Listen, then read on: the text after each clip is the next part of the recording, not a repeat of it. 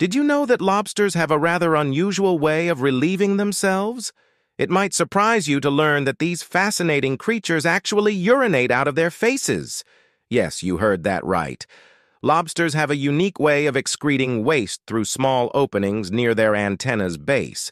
These tiny openings are called green glands, or antennal glands, and they serve a crucial purpose in the lobster's life.